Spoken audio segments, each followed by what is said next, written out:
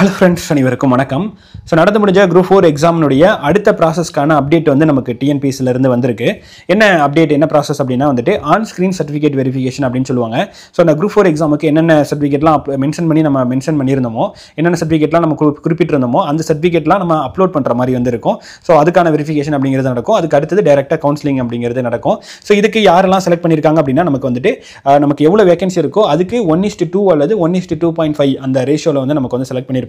So அப்படி பார்க்கும்போது ஒரு இருபதாயிரத்துலேருந்து இருபத்தைந்தாயிரம் மெம்பர்ஸ் வந்து இருபத்தஞ்சாயிரம் ஸ்டூடெண்ட்ஸ் வந்து நமக்கு செலக்ட் பண்ணியிருப்பாங்க சரிங்களா? ஸோ யாரெல்லாம் செலக்ட் பண்ணியிருக்காங்க அப்படிங்கிறத ஒரு பிடிஎஃப்ல வந்து ரிஜிஸ்டர் நம்பரை மென்ஷன் பண்ணி கொடுத்துருக்காங்க.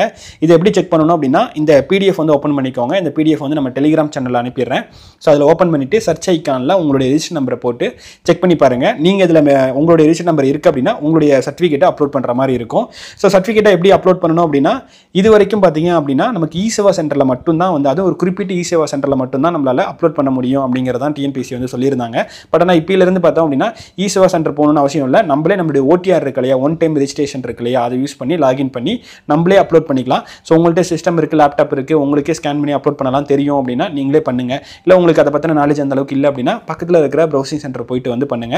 ஸோ ஆனால் எங்கே பண்ணாலுமே நீங்கள் ஒன்ஸ் ப்ராப்பராக செக் பண்ணி பார்த்து பார்த்து வந்து பண்ணுங்க. ஏன்னா அவங்க மாற்றி பண்ணிட்டாலுமே ப்ராப்ளம் நமக்கு தான் சரிங்களா? அதனால கரெக்டாக அதுக்கான இடத்துல ப்ராப்பராக அதுக்கான சர்டிஃபிகேட்டை வந்து ப்ராப்பராக அப்லோட் பண்ணியிருக்காங்க. பண்ணியிருக்காங்களாங்கிறத ஒன்ஸ் நல்லா செக் பண்ணிக்கோங்க. எதனா அதனால் ரிஜெக்ட் ஆகிறதுக்கும் வாய்ப்புகள் இருக்குது சரிங்களா? அதனால் ஒன்ஸ் நல்லாவே ப்ராப்பராக செக் பண்ணி அப்லோட் பண்ணுங்கள் அடுத்தவங்க பண்ணாலும் ஒன்ஸ் நீங்கள் ஒரு டைம் வெரிஃபிகேஷன் அப்படிங்கிறத பண்ணிடுங்க ஸோ நீங்களும் பண்ணலாம். கம்ப்யூட்டர் சென்டர் மூலியமாக பண்ணலாம். அந்த ஓடிஆர் யூஸ் பண்ணி நீங்கள் வந்து பண்ணிக்கிற மாதிரி இருக்கு. நம்ம எப்படி அப்ளை பண்ண அப்லோட் இது நம்ம ஒவ்வொரு இதுக்கும் அப்ளை பண்ணுறோம் இல்லையா? எக்ஸாம்ஸ்க்கு அதே மாதிரியே இப்போ நம்ம சர்டிஃபிகேட்ஸை அப்லோட் பண்ணுற மாதிரி ப்ராசஸ் கொடுத்துருக்காங்க சரிங்களா? என்ன டேட் அப்படின்னா வந்துட்டு நமக்கு நவம்பர் ஒன்பதாம் தேதியிலேருந்து நவம்பர் இருபத்தொன்னாம் தேதி வரைக்கும் டைம் இருக்குது ஸோ ஒரு பன்னெண்டு நாள் தான் டைம் அப்படிங்கிறது கொடுத்துருக்காங்க. முடிஞ்ச வரைக்கும் ஒரு ஃபஸ்ட்டு ஒன் வீக்குள்ளே அப்லோட் பண்ணிடுங்க. சரியா? ரைட் ஸோ இதுக்கான அப்டேட்ஸ் எல்லாமே நமக்கு மெயில் அண்டு எஸ்எம்எஸ் மூலியமாக வரும் அப்படிங்கிறத சொல்லியிருக்காங்க. ஸோ அவ்வளோதான் ப்ராப்பராக மட்டும் அப்லோட் பண்ணுங்கள் என்னென்ன சர்டிஃபிகேட்ஸ் அப்லோட் பண்ணுற மாதிரி இருக்கும் அப்படின்னா ஸோ மெயினாக உங்களுடைய என்னென்னா நீங்கள் அப்ளை பண்ணும்போது நீங்கள் வந்து மென்ஷன் பண்ணியிருந்தீங்களோ அந்த டாக்குமெண்ட்ஸ் எல்லாமே அப்லோட் பண்ணுற மாதிரி இருக்கும்.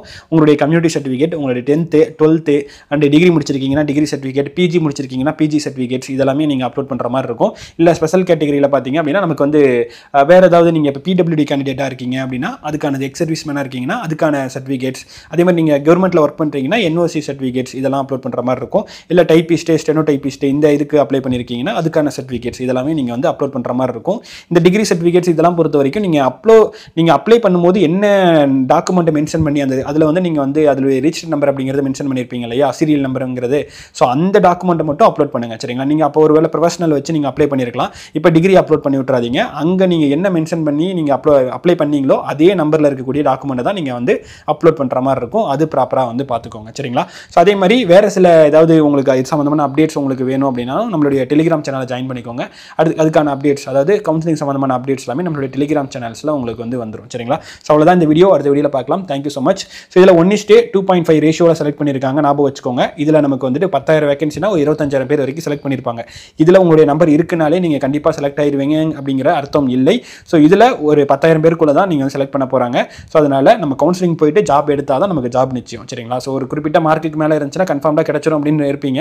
ஸோ உங்களுக்கு தெரியும் அதை பற்றின என்ன அப்படிங்கிறது. பட் ஆனால் ஜென்ரலாக சொல்கிறேன் இருபத்தஞ்சாயிரம் பேத்துக்குள்ள ஒரு ஆளாக இப்போதைக்கு இருக்கீங்க. இதுக்கப்புறம் நம்ம பத்தாயிரம் பேத்துக்குள்ள ஒரு ஆளாக வர்றதுங்கிறது கவுன்சிலிங் முடிச்சு ஜாப் எடுக்கும்போது தான் வந்து நமக்கு தெரியும். சரிங்களா? ஆல்ரெடி நமக்கு வந்துட்டு என்னென்ன ரேங்க்ல இருக்கவங்களுக்குலாம் வந்து கண்டிப்பாக கிடைக்குங்கிறதெல்லாம் வீடியோ போட்டிருக்கோம். அது ஒன்ஸ் வேணால் நீங்கள் செக் பண்ணிக்கோங்க. கன்ஃபார்ம்டாக கிடைக்குமா அப்படிங்கிறது தெரியணும் அப்படின்னா அது ஒன்ஸ் வேணால் செக் பண்ணிக்கோங்க. சரிங்களா? ஸோ அவ்வளோதான் இந்த வீடியோ அடுத்த வீடியோவில் பார்க்கலாம். Thank you so much